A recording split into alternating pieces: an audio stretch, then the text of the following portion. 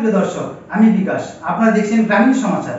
গ্রামগঞ্জের দ্রুত আপডেট পেতে entertainment YouTube চ্যানেলটি সাবস্ক্রাইব করুন এবং ফেসবুক পেজটি লাইক করুন।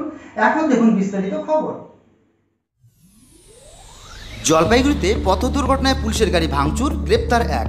শুক্রবার রাতে টোটো, রিক্সা ও মোটরবাইকের মুখোমুখি সংঘর্ষে উত্তপ্ত হয়ে উঠল জলপাইগুড়ি শহরের পান্ডাপাড়া এলাকায়।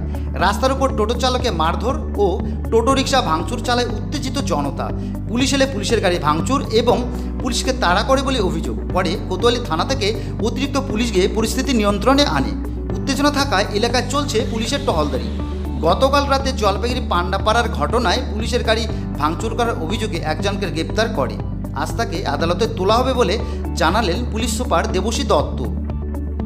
জলপাইগুড়ি থেকে মন্দিরা দাসের রিপোর্ট গ্রামীণ সমাচার।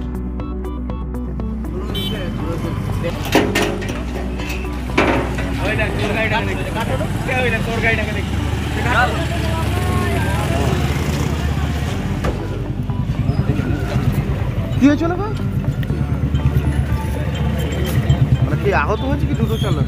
না আগত আগত এখনও কেউ হয়নি ডিসেট করা যাচ্ছে। না। মানে এখানে টোটোর সাথে কোনো একটা অ্যাক্সিডেন্ট হয়েছে।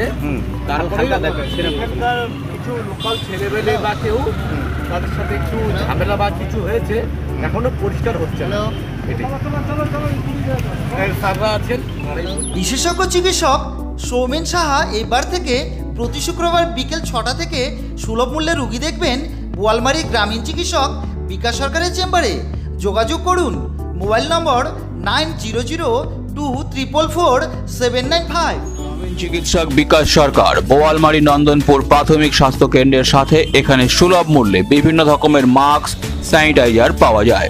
মোবাইল নম্বর নয় শূন্য শূন্য দুই চার চার চার সাত নয় পাঁচ।